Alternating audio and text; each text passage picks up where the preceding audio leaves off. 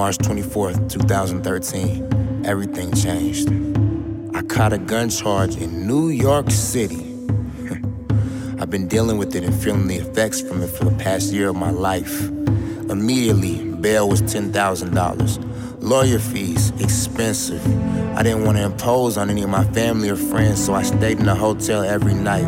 And if you know Manhattan, a cheap hotel might be $300. Then, when they finally let me leave the city, I still had to travel back and forth from Seattle, wherever I was at at the time, to New York City every month for court.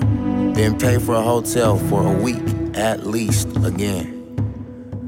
I've been off the grid no one really know what's been going on with me. Little did anyone know. Still, while all this was going on, I had a master plan in the works. I've been quiet on social media, but in real life, things have been no less epic than a motion picture film. I've stayed away from the blogs, but in real life, countless hours of work have been put in. Countless hands have been shook, numbers have been crunched, relationships have been built.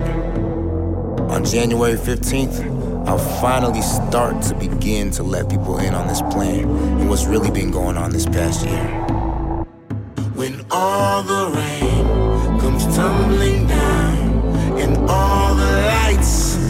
thundering loud. I hold my head up high while they back.